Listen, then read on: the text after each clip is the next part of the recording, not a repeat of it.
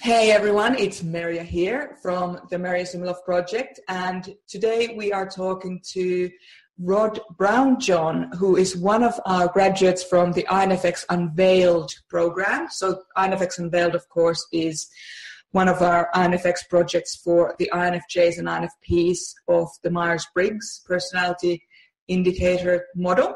And firstly, welcome, Raj. Thank you very much for taking the time to be here. Uh, we really appreciate it, and uh, it's it's great to have you. Hi, Merja. It's great to be here. Hey, hey, Rod. So, so what I'd like to do today, if that's okay, is I'd like to have you tell us a little bit about yourself, as well as you know your life experience as an INFP, and also your experiences on the INFX Unveiled program. Would that work for you? Absolutely, no problem at all. Lovely, thanks so much. So let's start with the first one. If you don't mind just telling us a little bit about who you are, Rod. Who, who are you as a yourself? Who are you as an INFP and how do you how do you come to this world? What how do you show up for us?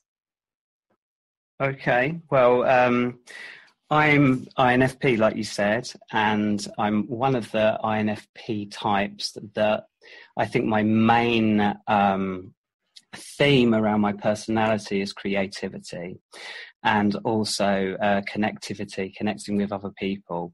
And one of the one of the main things that I like to do is music. So I'm a, I'm a songwriter. Um, I've been playing uh, guitar for 25 years. Wow. And and yeah, it's been it's been one of my um, things that that's been a real passion of mine. Um, been in lots of different musical projects, lots of different bands, and um, you know, it's something that's really kind of been central to who I am.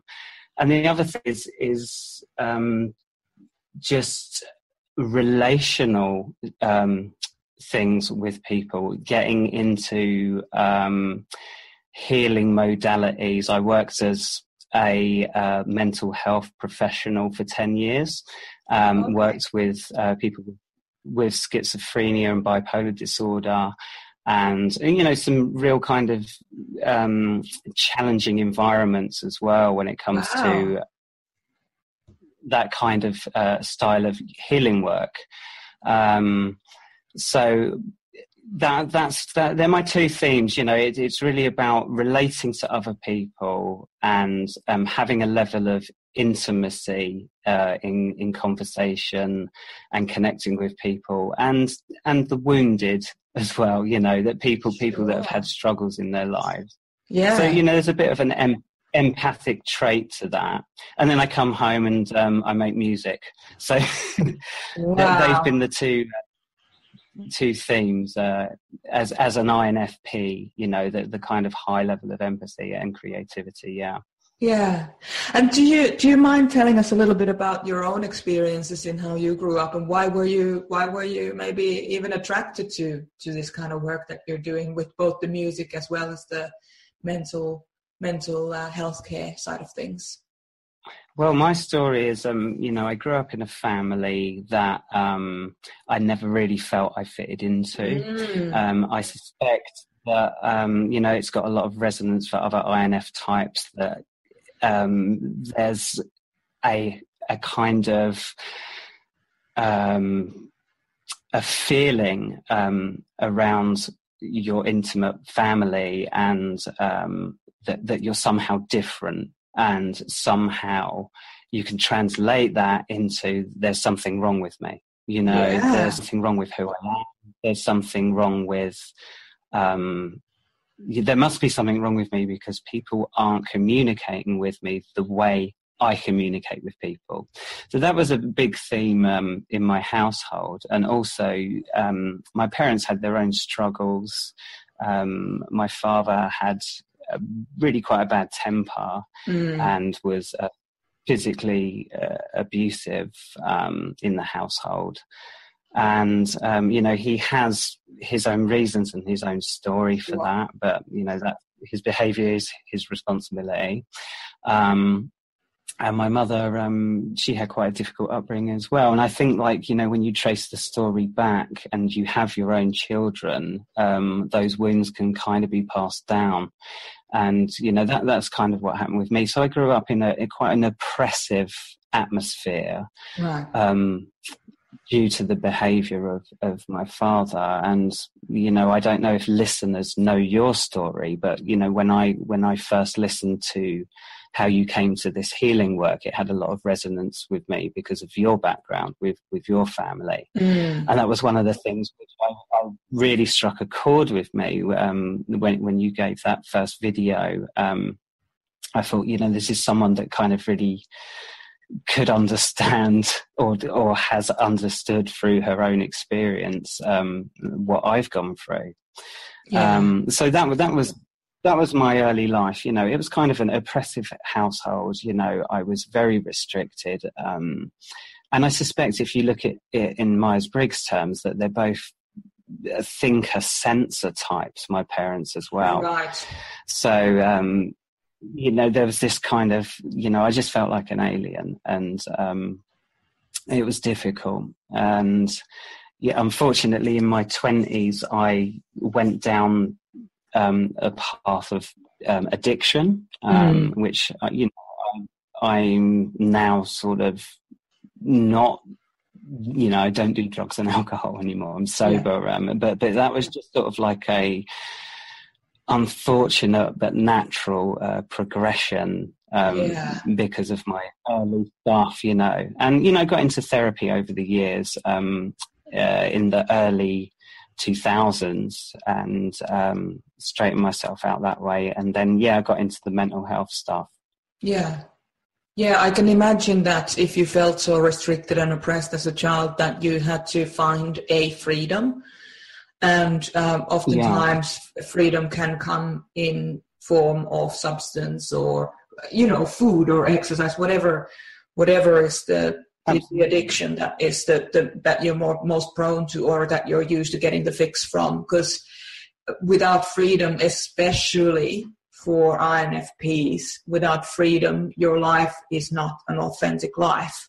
And it's so wonderful to see that you have uh, created that sense of freedom in your own life later on you know working especially working with schizophrenia any one of those specific types of mental health challenges. Um, there's a lot of yeah. freedom in expressing yourself in you know for those people who are who are having those challenges in expressing themselves um, freely. And and you know so that's a that's a an interesting reflection that you went to work in an area where you are basically working with people who feel out of control and yeah. you know and completely free as such because they cannot be contained and i don't mean that I, mm. I want to say i'm i'm if any of this comes across like i'm i'm you know being derogatory and in any way uh, negative about mental health issues or any of that it, that's not the intent at all it's it's I've I've had experience with schizophrenic people, and I just uh, the, the honesty of the expression that is completely so free when the the the, the thing is on when it's on um, is just something mm-hmm. that you rarely see in life and from from that perspective it's you can't you can't do anything i don't think except for really appreciate that that person has that reality for a very good reason. Absolutely, and and it's about meeting them on on the level that they're operating on, exactly and I think right. a common theme, yeah, and a common theme was um, I think there's always a sense of um, abandonment with with people with those kind of diagnoses um, yes. abandoned within themselves and um, and I think because of my early wounds I could really kind of empathize with that in them but perhaps in a different way but there was certainly a theme of you know empathetic exchange going on because yes. I kind of felt I felt familiar with that kind of emotional wound, not yes. the behaviour, but the emotional wound. You know, so you know, it's it's um, it, it, was challenging but rewarding at the same time. I can imagine. And also then through your music as well, that's a completely free space for you. I've heard some of your pieces and what I might actually do is is put a recording of yours to the end of this interview so that our listeners can also enjoy your, your music. If That'd be great. Yeah, yeah, if that's okay for you. But uh, um, also the freedom is in it's very clearly in your music. It's just so beautiful. It's just so beautiful. And I haven't heard you live. Perhaps someday when I'm in Europe, one day, maybe next year when I'm in Europe, okay.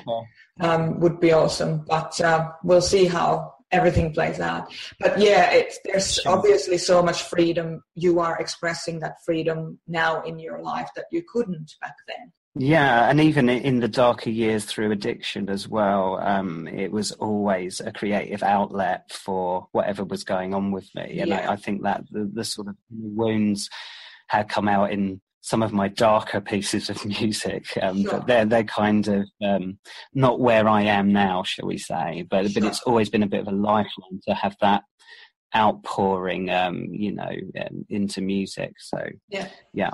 Well, that is the thing about emotions, whether it's um, you know particularly dark or we all go through times in our lives when we can relate to any piece of music, pretty much you know, in a in a face of a big loss or in a face of whatever other big challenges that we have. It's it's wonderful to yeah. have to to have you know a scope in in in a certain way to express everything that needs to be expressed and there's no better no, no better person than an INFP to do that it's so yeah. wonderful yeah it's, one of our natural worlds that we reside in. Yeah, definitely. Absolutely. And I think also, you know, with music, um, you know, we don't live in a one season world. You know, it's not always right. sunshine in, in our hearts. And, you know, if you want real uh, release of emotions or some kind of cathartic experience, then there's all kinds of music that will accommodate it. And, and it's really quite a powerful tool yes. to put on a record and, and use that certain mood to enhance or you know just get rid of a mood. That's um, right. so so that that's how i see it anyway. Brilliant. And uh, can i just ask you with your background um, it sounds like you've done a lot of work for you know on yourself and with yourself and you had a lot of awareness about yourself already but what then attracted you to the INFX Unveiled course? What what happened? Like what what was the thing for you? Well, it, it, was. It's a real simple one. It was. It's the fact that it was designed by you, being an INF type. Okay. You know, I got tired. I got tired of looking at online programs that you know you sort of see um, the landing page and you, you, scroll down and it's like you know achieve your dreams and this that and the other. And whenever i um, had downloaded one I, you know over the last maybe three to five years i've, I've downloaded you know two or three and tried to stick with them. But the thing i never liked about it was that the sort of this cultural trend that we have of extroverted delivery yeah. you know like the way the information is delivered the style in which it's presented the speed and the pace of even the person's voice um, i kind of i'm like this just isn't sitting with me what is it about these programs you know that that i'm just not fitting in with hmm. and you know I've, I've been into myers-briggs for a few years and you were the first person that i saw online as an INF type that was delivering a course around healing and moving forward. Yeah. You know, and I, I think that's quite hard to come by. So well done. you know, if you if you look at the the majority, the vast vast majorities of programs out there, you know, you get this sense that it's this sort the the dominant kinds of um, themes. Uh, it's it's very thinking type you know it's run by thinking or sensing yes. type actions yes. activities and people um, so i saw your initial videos and um, you know i think that was back in maybe july or august on personality hacker yeah um, listen to your story um, you know and and your background and your childhood and just to some of the other content that you had on the videos was really good. Um, just the promotional stuff. And, you know, there was a video on um, healing INFX wounds, INFJ, INFP wounds that I saw. Um, there was a video on resistance to healing work, you know, and mm. some examples of healing work. And so I just looked at the videos and you know, spent I don't know how long, an hour or two on those. And I just thought, wow, you know, this person. It just felt right. It felt like we, we had a kinship, and that it was something that um, I could actually work with at the pace that I wanted to go. You know, yeah. So yeah. that that that's that's what it it was it was like the it was the first time I'd met an INF type that had stepped up you know, and and and sort of gone right. I'm going to do do a program, and um, what I liked about it as well before just the promotional material was the focus was on not just moving forward, but but the healing work involved. yeah, know? yeah, and a lot of them on healing, and I, I think that's a theme with us that you know there's a lot of healing to be done. It's not about right, you know, make a list of activities and time. yeah. It's like, you know, let's just go back, let's rewind, take it easy, take it a bit slower. And it, it just, you know, when I when I actually um, started the course, it, it's just got a, quite a nurturing feel to it, and brings out that you know your own inner nurturing. So yeah, absolutely, and that's exactly what it's designed to do: is to allow you to choose how you are with yourself and that was for me when I wrote that course. It was for the specific purpose of making sure that people have access to where I had to go in order to be in a position where I can run this type of course. It's like, great, you know, great. You, you, can't show up and you can't step up unless you've done this work as an INF type because the world is very unforgiving in many ways. You have to be able to stand strong and say, I'm here. We're doing this. Absolutely. And, you know, and we're doing it the way that is right for us. We are not doing this in a way that we should do this we are doing this because this is how it works for us and we're making the most of our lives because our lives are as important as anybody else's lives so yeah. Absolutely. And and that, and that's what's that's what's come across you know with the program is uh, you know you're, you're someone that you know can have that kind of stature with with this topic. And and you know you, you come across as someone that um has done the work and is able to deliver it. So, you know, that was one of the things that I thought, you know, I can, I can trust, I can trust this program and I can trust this person.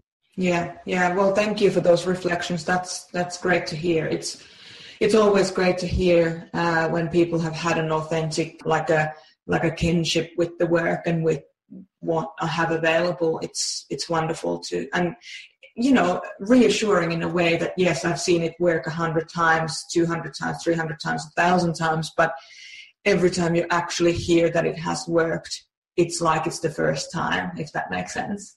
It's as sure. important as any other as any other time. So yeah, I appreciate that. So how did you feel when you started the course? Did you have any like concerns or confusions about what was going to happen or were you like looking forward to the experience? What were your what was your like initial were you nervous? Were you excited? Where were you at? Well, my my first um, I, I know what I'm like with with doing new things and it is a kind of INFP thing. You know the theme for me is around um, reading the materials yeah. you know and taking notes lots and lots of notes notebooks full of notes um, but not actually doing the exercises. so with, with, any course, uh, you know, I kind of said to myself, look, this is a great course. Don't do what you usually do and procrastinate. And, yeah. you know, uh, there's a thing with me, you know, I, I kind of, I, I get the information and I'm like, oh yeah, that makes sense. Yeah, I, I think I've heard that before. Yeah, that that's great. And then yeah. I do nothing with it. So yeah. the promise I made to myself was like, you know, th- this time, let's just do the do the exercises that are involved. And, and what's great about it, I mean, the the four sessions is that the exercises are quite simple, but yeah. if you do them, they end up having a lot of depth. Yes. So, for for example, that you know, in the in the first um, session when we talk about the chameleon mode, um, you know, the the exercises around that were quite simple.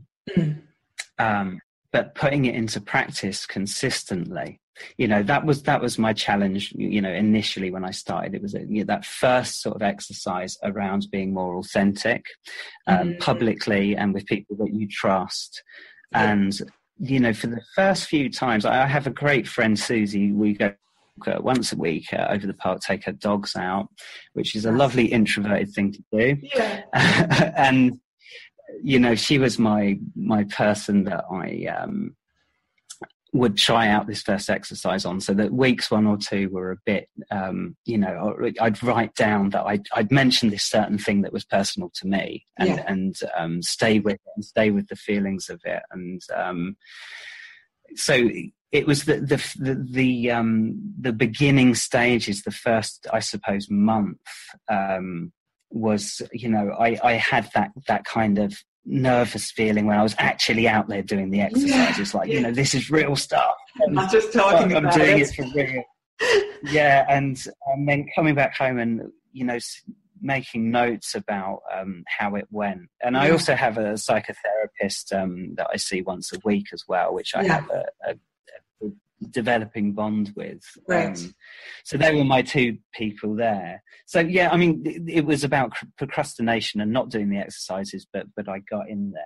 Yeah. And other than that, I was excited and yeah, I was looking forward to it because I, it was like you know you were speaking my language, and I'd found someone that was speaking uh, in a way that um, resonated with me. Yeah. And um, yeah, and just you know the the content in in the um, when I first started, it was like, wow, this is like my life being reflected back to me, which is I didn't I didn't have with the other programs. It's like you know sure. this is so similar to me, and when we you get onto the Q and A at the end of the sessions, um, the, you know it's like however four or five people just with these questions yeah. or these um, statements and are like, oh, I, I could have said that three years ago, you know, or I could have said that yesterday. It's like, it's a group of people that are speaking my language. So, yeah, you know, when I, I, when I started the course, it was, you know, it was scary but exciting at the same time. Yeah, yeah. And what were you hoping to achieve from the course? Did you have any specific achievements um, or um, where were you? I, I think, I think what I I didn't want to make myself any really super heavy promises. Yeah. Um, so at, at, the, the beginning, it's like you know, I I'm not looking for enlightenment. I'm not looking for a dream a dream career. Um, I'm looking for self understanding uh, mm. uh, within within the you know not confines but the construct of of Myers Briggs and being an INF type. Yeah. Um, and you know getting used to what my cognitive patterns were yes. and my sort of emotional patterns. And certainly around when we're talking about the sort of inner wounding and the childhood wounds. And it's it was i was hoping to achieve as much awareness as i could around how my wounds were functioning when I'm out there in the world, and and and the program helped me do that. You know, so it really about um, slowly changing those lifelong habits that that I think with me, with my particular background, um, with my childhood, and this sense of oppression, and not actually being allowed to go out and explore, not being allowed to um, be creative. You know, all those things were were the things that I was hoping to just get more insight into. And it's like, well, you know, what is actually going on? What what's the unconscious messages that I've received there, what, what's really going on, and what's what's stopping me. Yeah. And I, I think other things. Um, I wanted a more.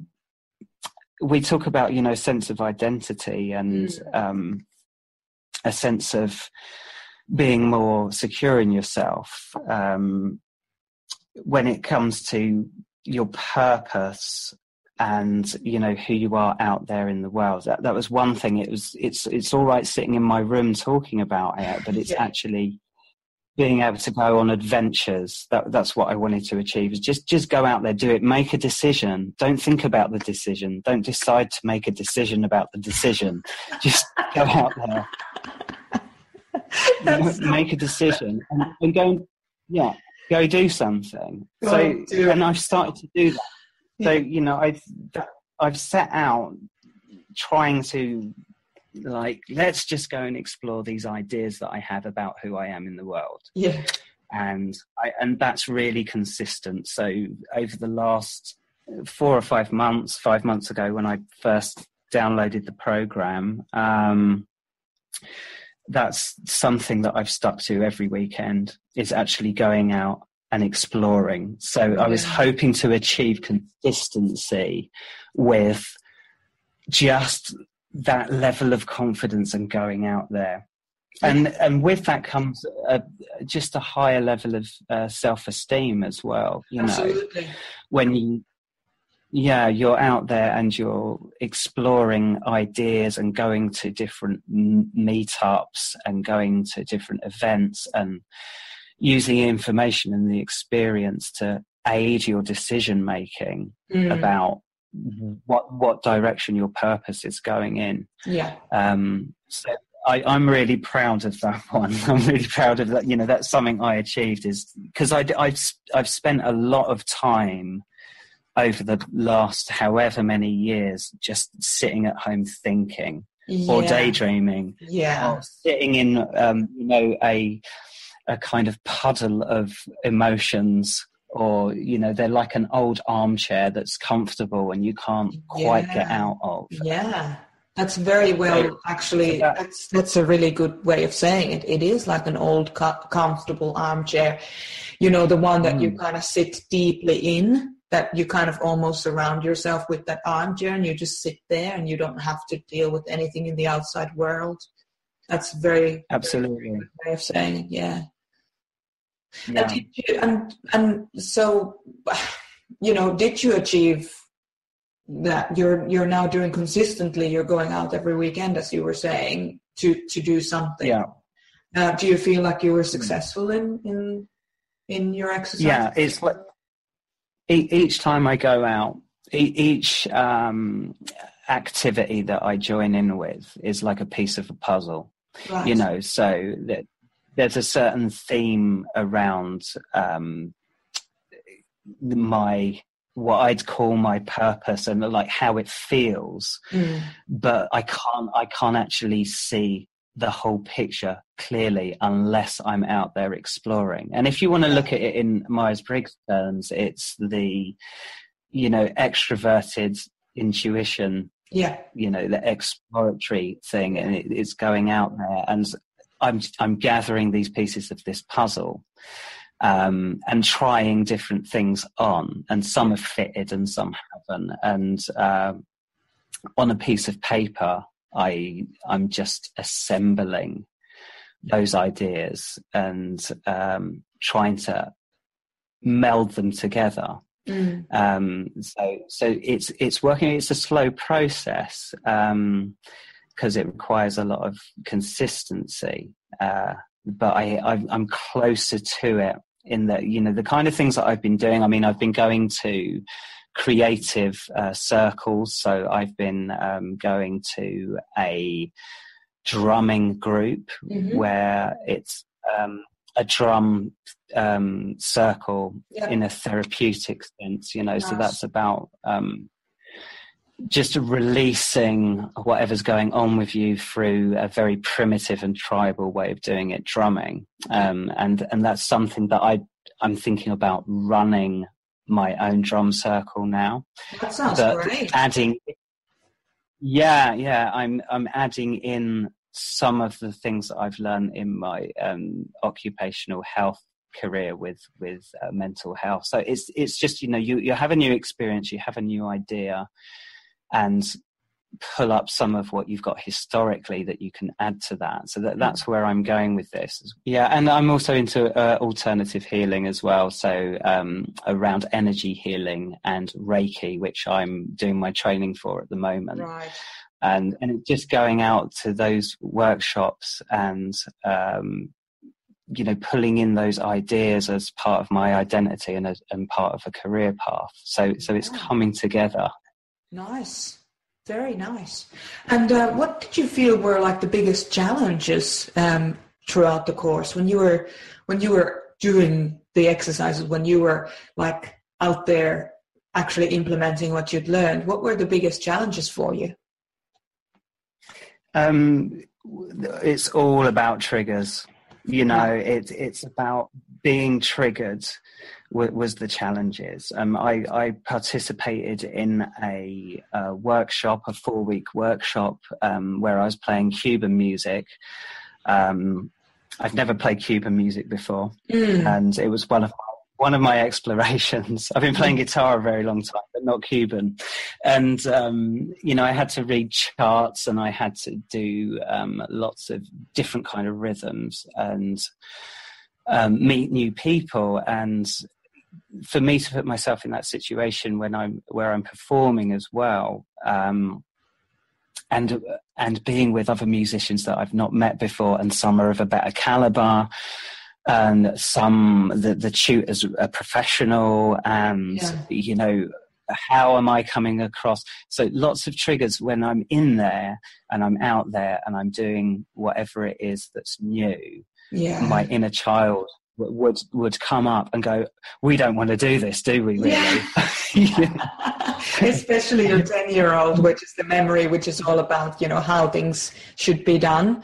And if there's anything that's too and too like uncomfortable he's not comfortable in it because he hasn't done it before. Yeah.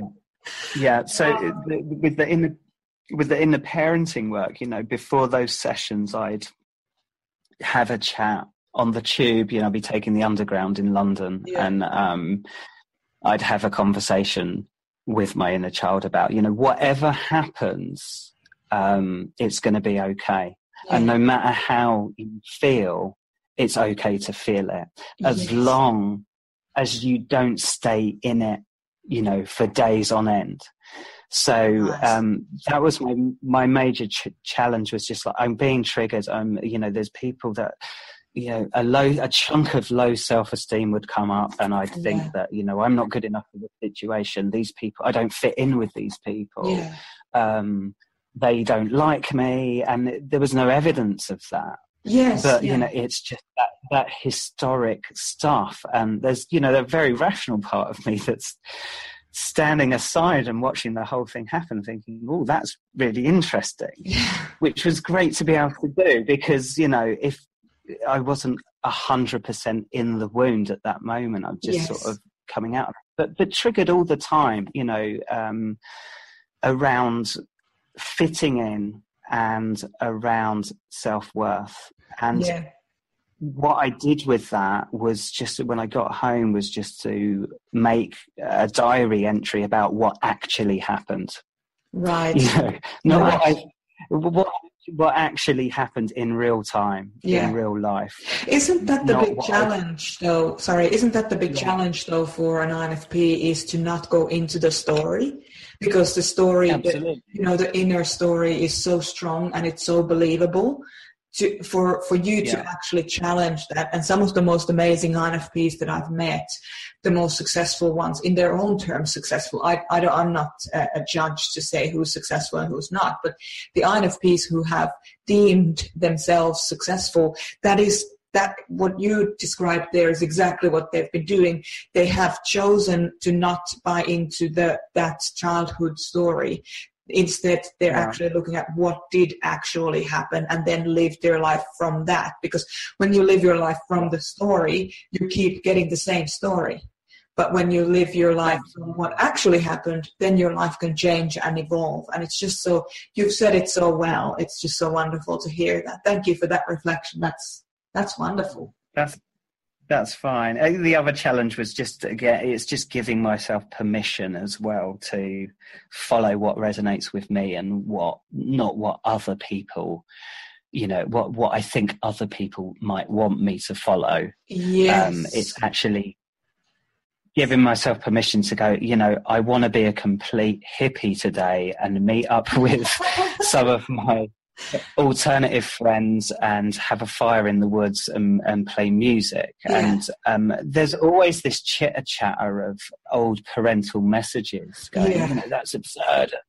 You know, that's that's not going to get you a job and all this historic nonsense. And um, it's the, the more you do it, the more you kind of just say, I'm going to do it anyway. Yeah. Um, the strong, the, the stronger the reality of that becomes. Yeah. The stronger of, of you know, the stronger the um, experience as it is becomes, rather than the historic nonsense. You know, mm. so so there there were the two challenges for me. Yeah, giving myself permission to go for it, and just when I had given myself permission, dealing with the triggers. Yes, yeah, exactly right, and and it's so lovely to hear that you're so aware that you're you know you are taking this effectively a risk right? You're taking this absolutely. putting yourself out there knowing you're going to get triggered but knowing that you'll also be okay if you will be triggered that you'll be there for yourself. And then you know allowing yourself to have the space to feel the feelings knowing that the feelings are not going to last forever that you're not going to unpack there and stay there. Yeah but instead just kind of letting yeah. it. So it becomes a lot more flexible and a lot more kind of uh, fluent rather than rigid boxes. Now I'm, you know, now I'm triggered and mm. everything's shit. Sorry, yeah. if you're easily yeah. offended by cursing, I'm sure you're not. If you're no, no, I it's, it's not. That's the way. Yeah, go on. I said curse away if you need to. It's fine. I have to say I've toned it way, way back. So, okay. moving swiftly along. um, if you step back from doing the work, if you step back from the f- last five months, you've basically done the work for the last kind of five, five-ish months. And if you just yeah. step back from it and you look at your life right now, and then you look at a snapshot of your life back when you started, what are the differences between the two pictures? Uh, the first and foremost is the relationship with, that I have with myself. Yeah. You know, uh, before before the course was um, me making partial efforts to do this stuff. You know, be out there, being me, yeah. um, be kind to myself. I had a lot of negative voices about self worth and yeah. who I felt I was and what I was worthy of um, prior to the course, and it's it's turned into like my internal headspace and those kind of thoughts um, and that dialogue that I have with myself is completely different. You know, right. that's the main thing the, the relationship I have via the way I talk to myself and the way I actually listen to myself now. Yeah. I listen to myself and, and I have feelings come up in my body or I have a tiredness or I have a need or I have something, a, a trigger that's gone off. Mm. And I'm able to just nip it in the bud and identify. I mean, there's a really helpful on one of the sessions, um, one of the exercises um, that you put out there was the um, what do you need right now? You know, yeah. yeah. What what do you need right now, and give it to yourself. Yeah. How are you feeling right now, and what do you need right now? Yeah. And, yeah. and that's the kind of core essence of what I've been doing and just really quickly identifying that and being able to bring myself back into a space where I feel I'm not rattled, you know. I'm not for days on end before the course. I I just go into a very negative spiral around, you know, my value as a person and yeah. my worth in the world. And the inner parenting has changed that. So I don't have a negative voice, you know. I don't have a ne- negative inner parent voice anymore. Yeah, wow. and I certainly had one I certainly had one for 41 years, you know. That's massive. My, That's massive because yeah, so, so parenting I, voice, sorry, because that inner parenting voice often comes from the voices of our own actual parents. So what you're absolutely. doing here is you're changing the generational pattern of hurt what you were saying before that you know you, people pass down their their hurts to their children and you're changing this uh, you're changing this, you're breaking the pattern. That's very powerful. And that that is actually one of the things that I've been saying to myself as well. You know, is like the the buck stops here. Yes. You know, the the buck stops with me, and and it, it becomes when you do the work and you really work on um, an authoritative parental style, which was mine. You know, the kind of um, what I felt I needed, and also adding in some nurturing as well. Yes. When you do that, you, you step outside, and, and, a strange thing happened with me where that became more natural. That the, the, voices of my new parents, so to speak, yeah. became the natural voice. And I still have the old ones, but they're they're real quiet. Yeah. You know, and they'll, yeah. they'll they'll come up, but I'm able to step outside. I'm not in it, you know. I'm not in that conversation. Nice. So that, that, that's it's just it's just my relationship with myself. That's that's, and I think that's the center, especially for INFPs, is um, having a loving relationship via your feelings as well. Yes. You know, and using your feelings as, as a central um, thing to to guide the whole of the process. Yeah. Yeah. Wow. I can I can tell like by how you're talking about your process uh, with the work and and with yourself, um, I can tell the the level of kind of the the benefit that you've got from the course because you've you've embodied it. How you speak about it is you're not just talking about it. Like you were saying before you know i used to just stay at home and think about things and that type of thing whereas now i'm out there doing Absolutely. it and it's exactly what's happened. You've taken this course. You've taken the learnings in it that were relevant to you and you've actually embodied them and that's just my hat is completely off to you. Thank you. Thank you for doing your work. We we need this is what exactly what we need and this is exactly what the program was designed to achieve. So I'm I'm I'm a little bit speechless. and for those of you who know me, that's very rare. no, I appreciate I pre- appreciate Ooh. that you recognise that, and um, you know it's it's doable. You know it's doable, yeah. and it takes it takes it every day. You know, I think in in one of the sessions, um, someone said in the Q and A, do, do the or maybe it was you maybe it's one of the exercises make sure you do this for 30 days. Yeah. And um, i did the 30 days of you know every morning having a little sit down with my inner child and you know giving guidance nurturance and i have like a few sayings that um, i say mm. to my inner child each morning. And, and that kind of stuck, you know, so I did the 30 days and then it, it just become a habit. So it's like um, a morning yoga, you know, it's, it's, this, right. this part of the routine. Yeah.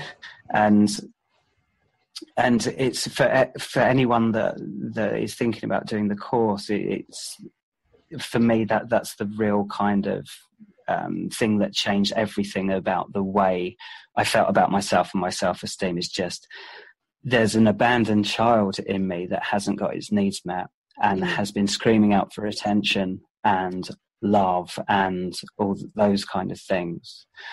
And when you start to receive that from yourself as a parent, it sounds kind of weird if you haven't done it before, but um, it starts to work and you, you start to feel like you can trust yourself and you have more energy to go out and trust yourself actually out there in the world.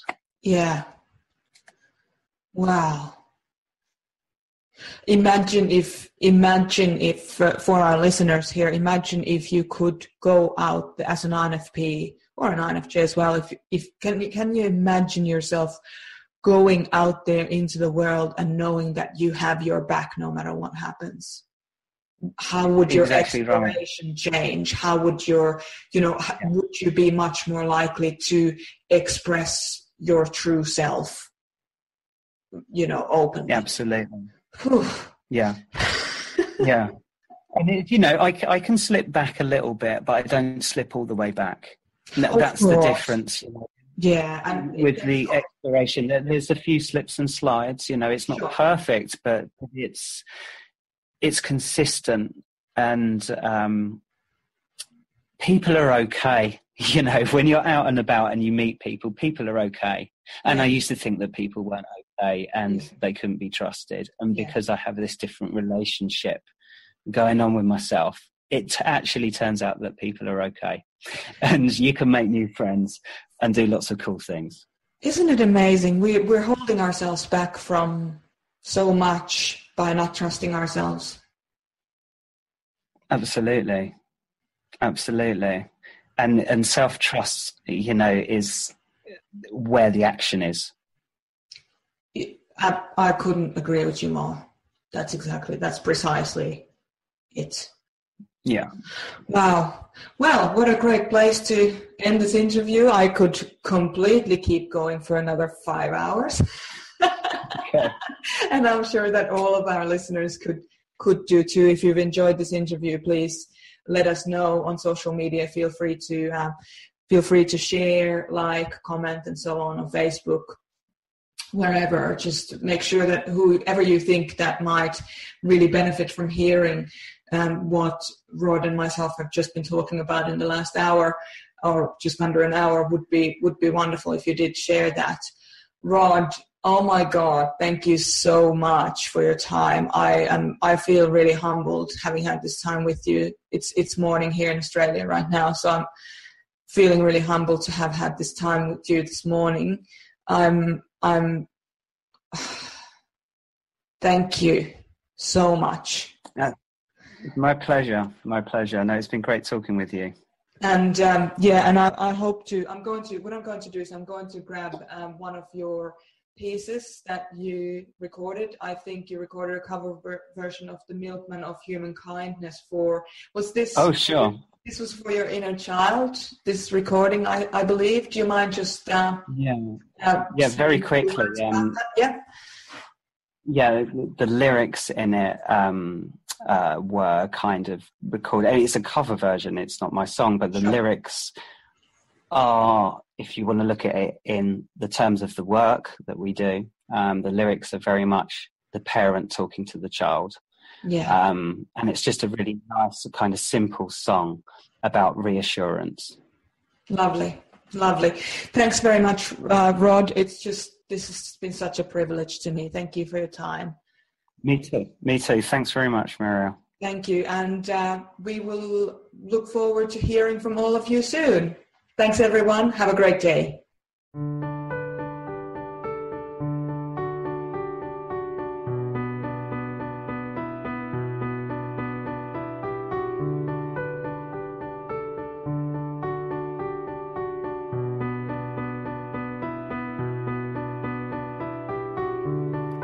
If you